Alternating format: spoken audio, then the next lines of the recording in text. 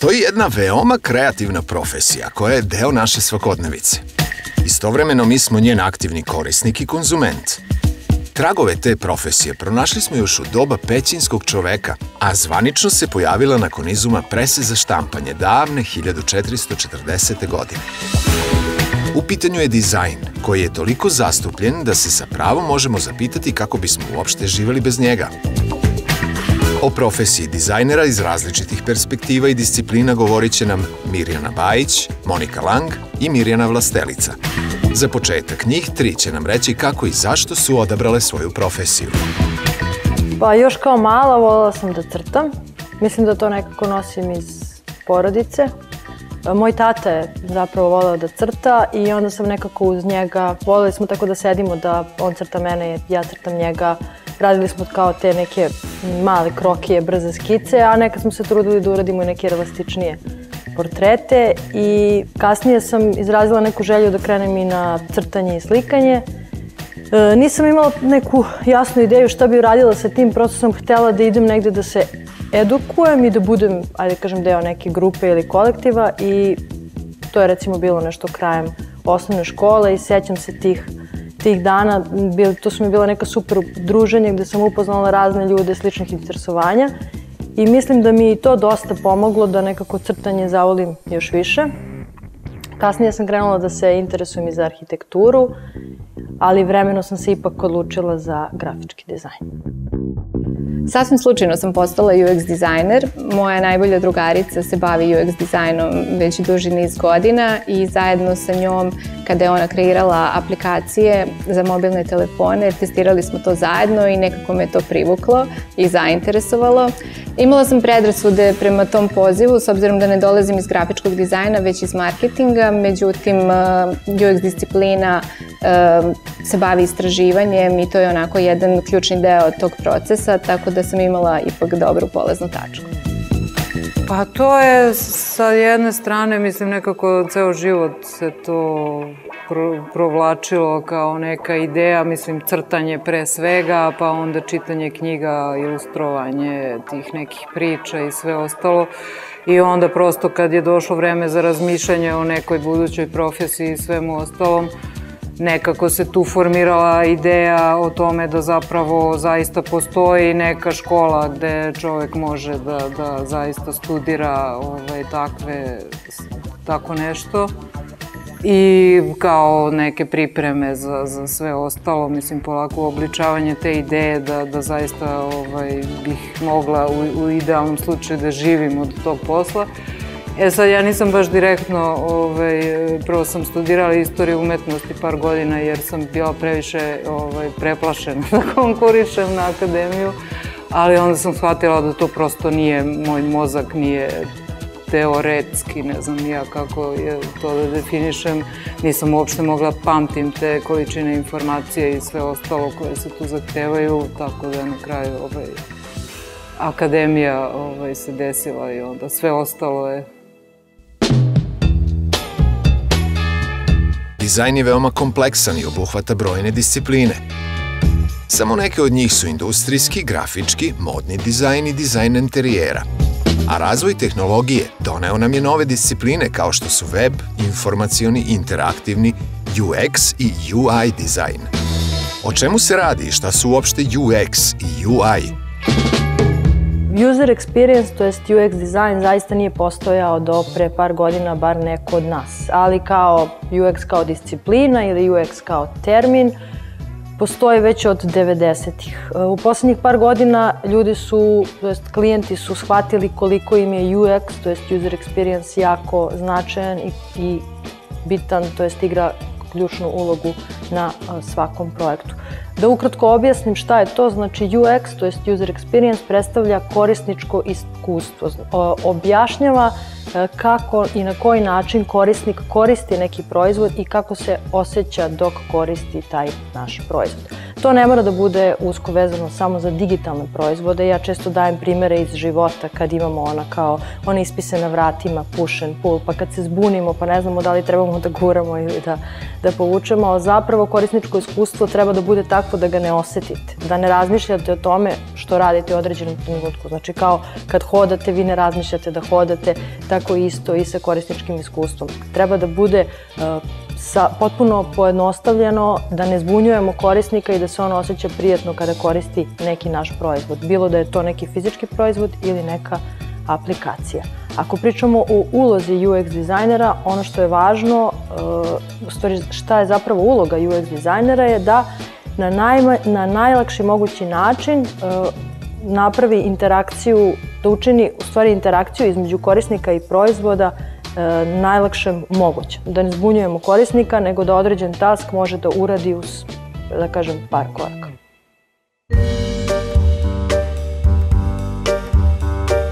Veliki broj ljudi misli da pisanje par reči i inkorporiranje nekoliko slika da bi se dobilo nešto lepo nije posebno teško. Ali dizajn i njegovi principi su izuzetno nijansirani. Koja vrsta obrazovanja je neophodna za rad u profesiji i da li je potrebno dodatno stručno usavršavanje tokom karijere?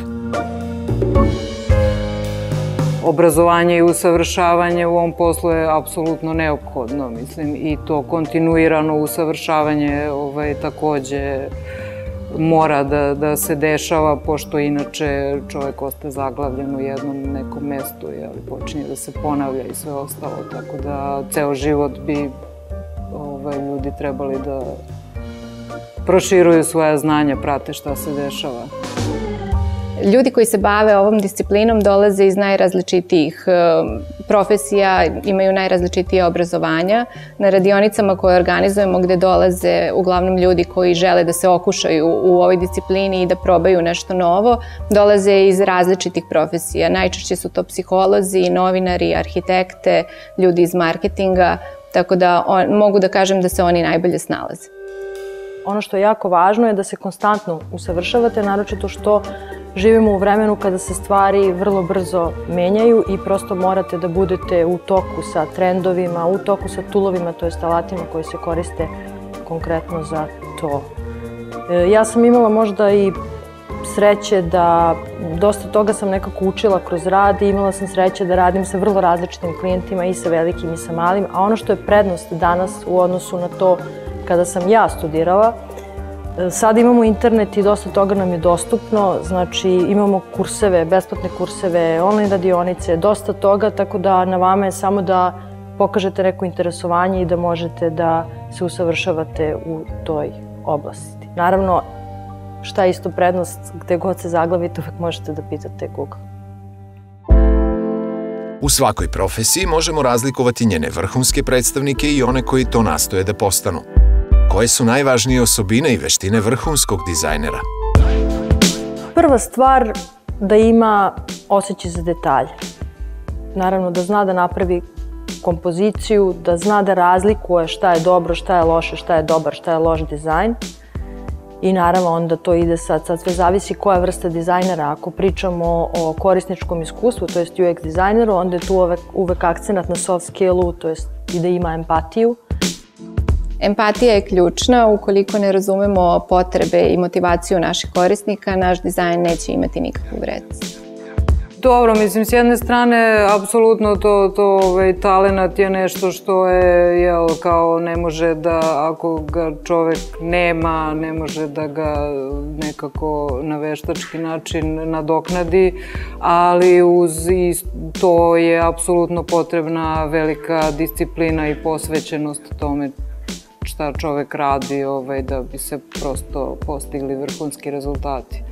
Sam talent apsolutno nije dovoljan da bi čovjek bio među najboljima u svom poslu.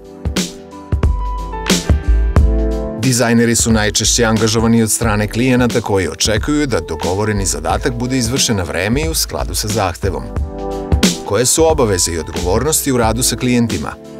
Ta odgovornost zavisi zapravo prilično i od vrste posla, pošto ovaj, tu zaista je širok spektar e, nekada, mislim, vi zapravo, ja sam konkretno freelancer, to jest e, imam firmu u kojoj sam ja jedina osoba koja ovaj, je vlasnik i zaposlen i sve ostalo, ovaj, tako da to počinje od komunikacije sa klijentom preko kreativnog razvoja te neke ideje na kojoj se radi, pa onda često se to završava i samom produ kontrolom same produkcije, odlaska u štampariju, e, nekada se samo ilustruje neke stvari pa se šalje klijentu, mislim dosta zavisi od posla.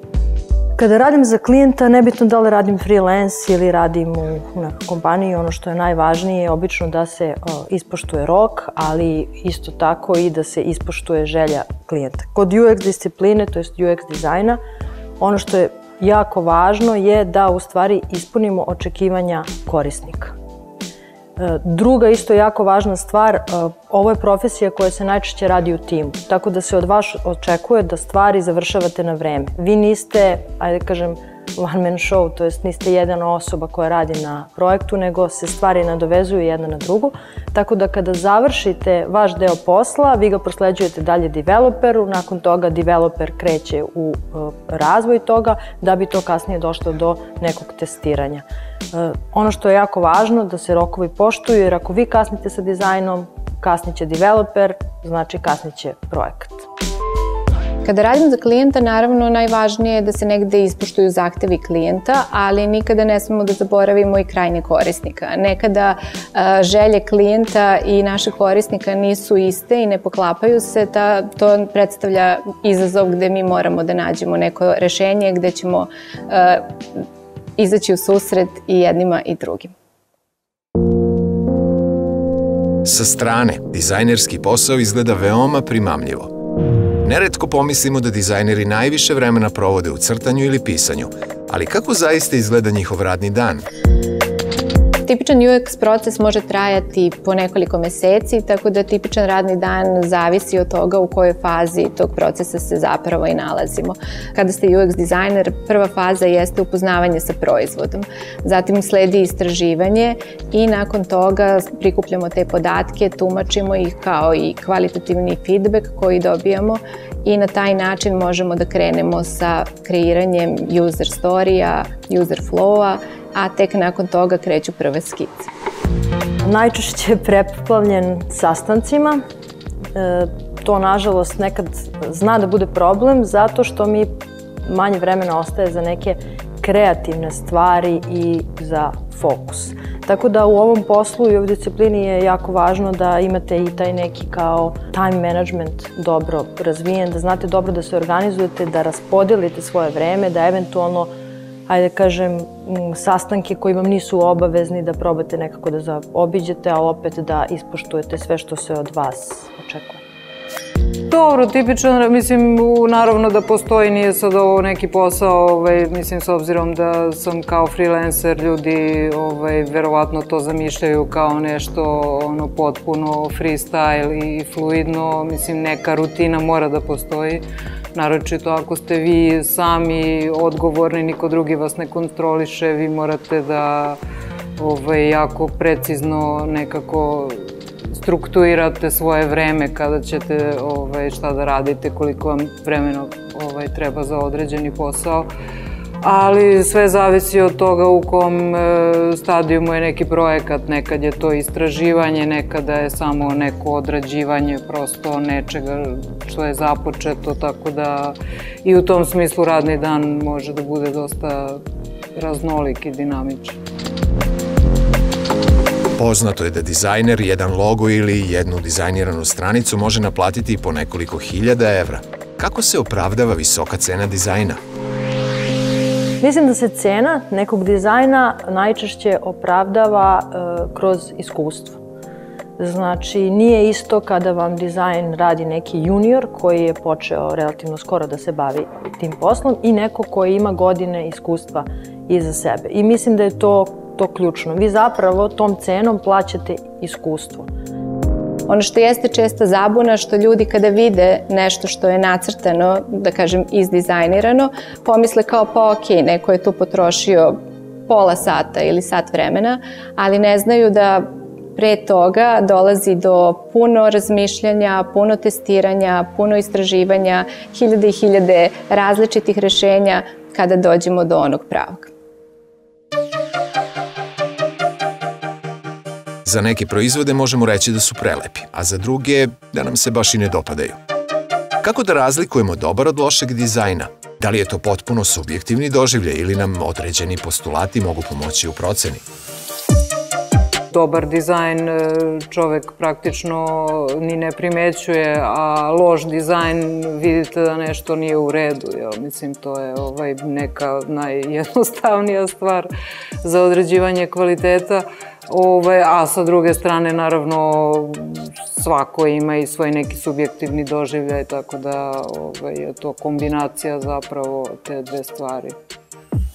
Da, sada je jako teško napraviti granicu između dobrog i lošeg dizajna zato što smo zaista preplavljeni različitim sadržajima, tako da e, nekad se to oslanja na tom, ajde kažem, individualnom nivou šta nam se, da li mi se nešto sviđa više ili manje, ali u dizajnu postoje principi koje, koje trebamo ispoštovati i recimo jedan od njih je da, da je dobar dizajn funkcionalan, što znači da osim te estetske vrednosti mora da zadovolji i ovu drugu stranu funkcionalno.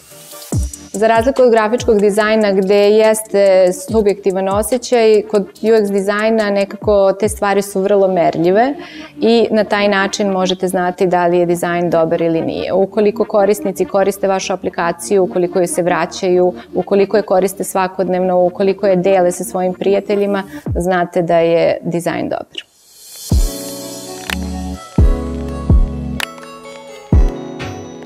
Koristeći grafiku, slike i tekst, dizajneri kreiraju priču ili poruku koja će privući potencijalne korisnike, odnosno kupce.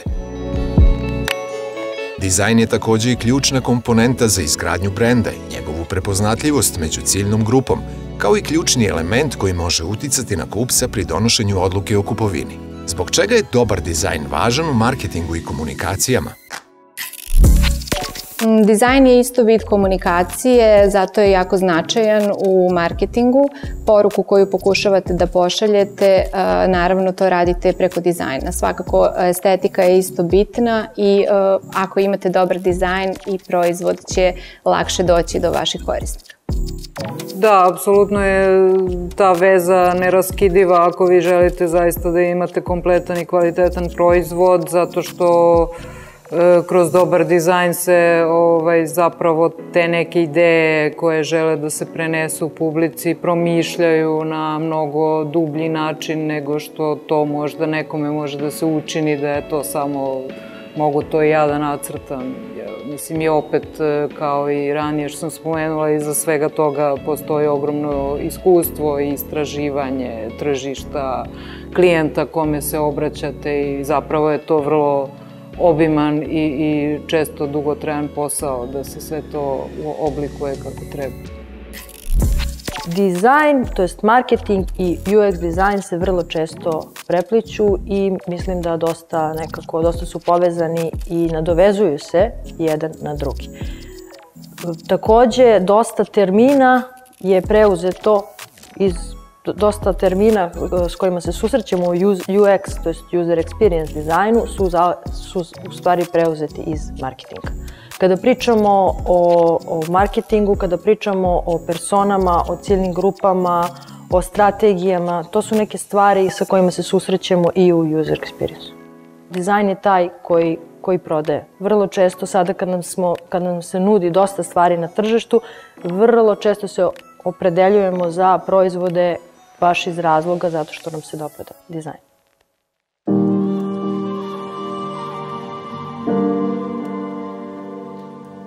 Poznata američka dizajnerka Paula Scher izjavila je jednom prilikom da joj je potrebno svega nekoliko sekundi da nešto nacrta, ali da joj je trebalo 34 godine da nauči kako to da nacrta za nekoliko sekundi. Šta je za naše sagovornice najveći izazov u ovoj profesiji? Najteža strana mislim da je upravo taj rad sa klijentima. Nećete uvek imati nekog super klijenta. Trebate da znate da se izborite sa tim, A opet s druge strane, koliko god godina iskustva da imate, ta, ti, početi, ti početci sami su najteži. Kada tek počinjete da radite sa nekim klijentom i zapravo potrebno je neko vreme da on stekne vaše poverenje kako bi vam dao odrešene ruke.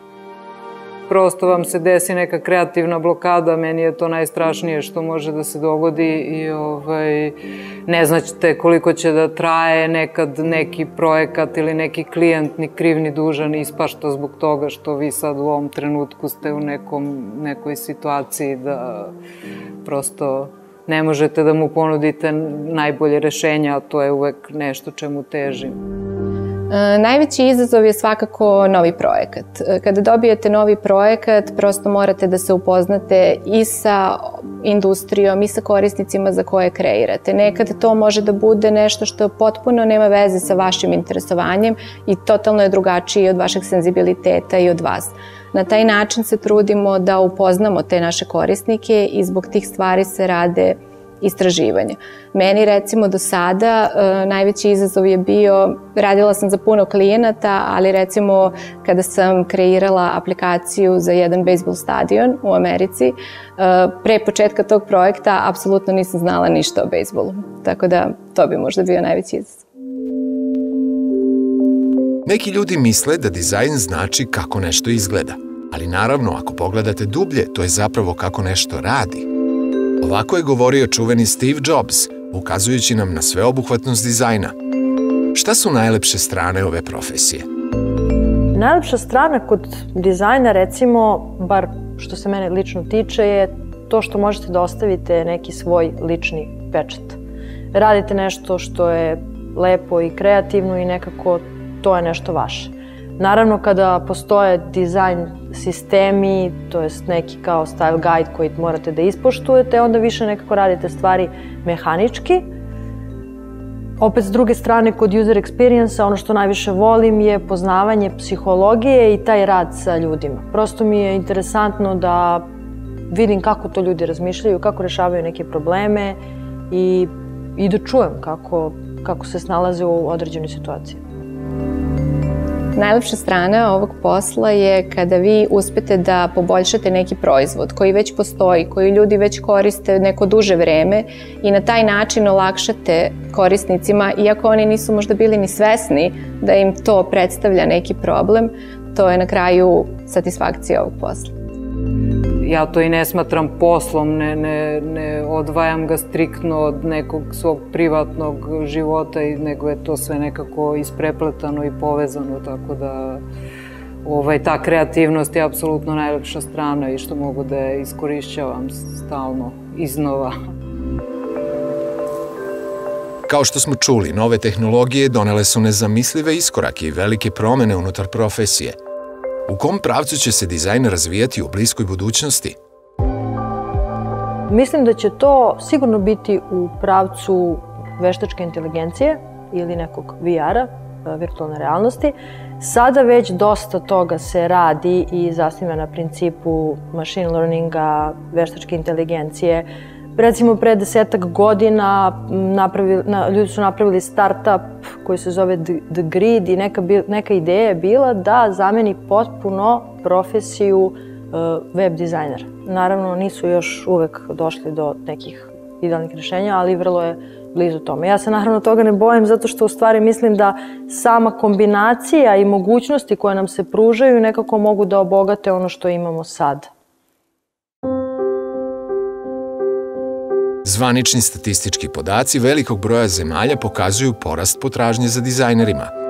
Počev od grafičkih pa sve do UX i UI dizajnera bez kojih je dalje razvoj IT industrije nezamisliv. Nećemo pogrešiti ako kažemo da je ovo profesija budućnosti. A šta bismo mogli da posavetujemo one koji priželjkuju da se upuste u ovu profesiju?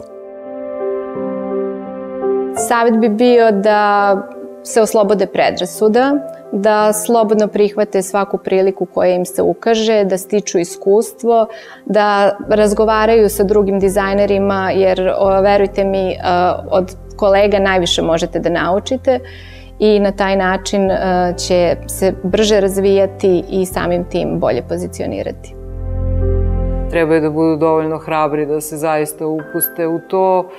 E, moraju da budu uvek zainteresovani i, i da prate sve mogućnosti koje se ovaj, pružaju, sve stvari koje se dešavaju na sceni i prosto da, da se posvete tome i bit će sve okej. Okay.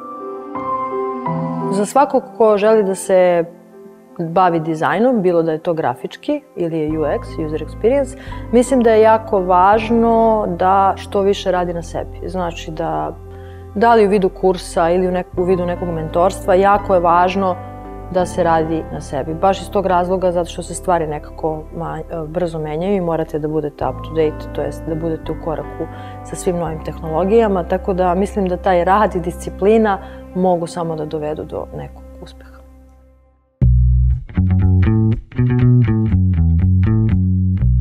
Dizajneri kreiraju našu stvarnost. Oni crtaju stvari koje koristimo, mesta u kojima živimo i radimo, iskustva koje doživljavamo.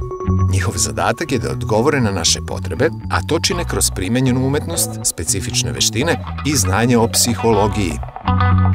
I kada idući put u ruki uzmete dobro dizajniranu knjigu ili preporučite svoju omiljenu aplikaciju prijatelju, setite se da za dizajnere profesija znači Vokacija, stvaranje i individualnost. Sloboda, strast i izazov. Ljubav, sloboda, izazov.